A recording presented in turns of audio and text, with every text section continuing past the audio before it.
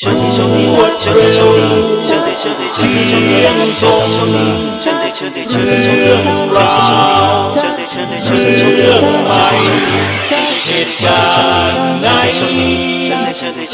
นใจใจกับไวนิว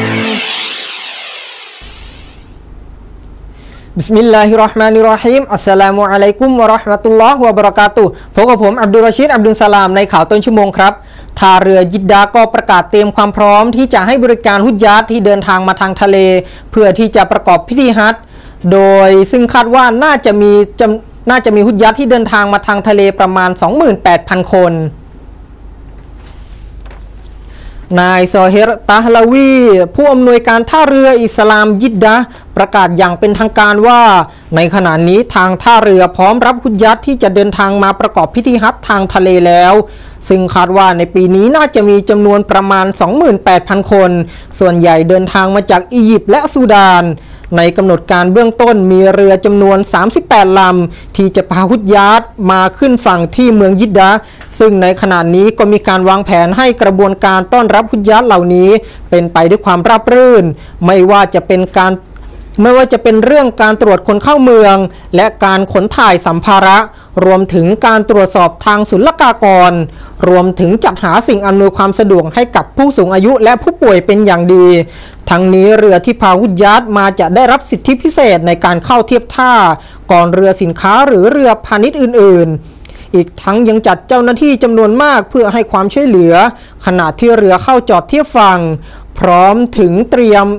ร้อมกับเตรียมรถโดยสารที่จะพาผู้โดยสารไปยังห้องโถง เพื่อรอรับสัมภาระและการตรวจคนเข้าเมืองต่อไป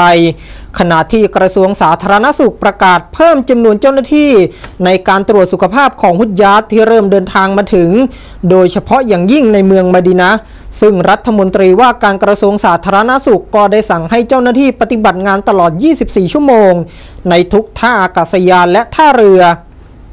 ทางด้านเจ้าหน้าที่สาธารณสุขจะเฝ้าตรวจตราหุจญาตว่าจะไม่มีสิ่งที่แสดงออกมาว่ามีโรคติดต่อ ซึ่งในมดินะห์เองก็จัดตรวจจัดจุดตรวจถึง 3 จุดเพื่อตรวจโรคหุจญาต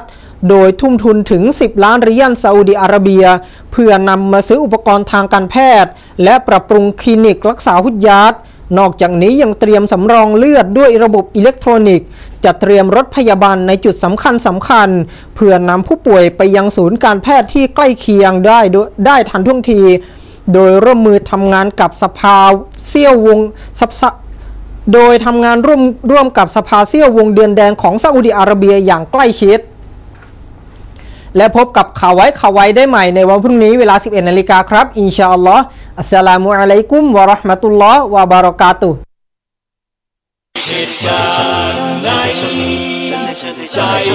trái trái